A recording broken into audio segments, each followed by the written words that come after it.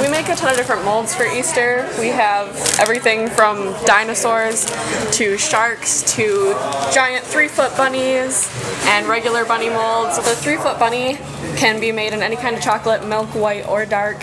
It's approximately 22 to 25 pounds of chocolate and $150. We're going to do a family, your uh, you know Easter egg hunt and things like that. So not a lot planned this weekend, but you know I'm going to have fun with family. So never have seen these initials before, so I thought that was kind of neat.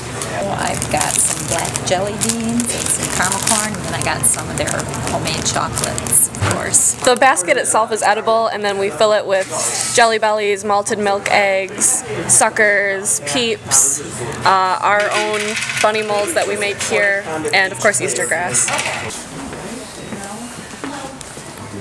Quarter pound each, and then I gotta go up back.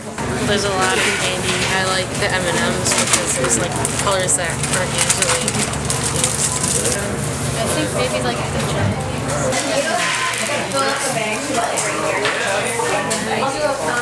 and then about a half a ton of the little chocolate things.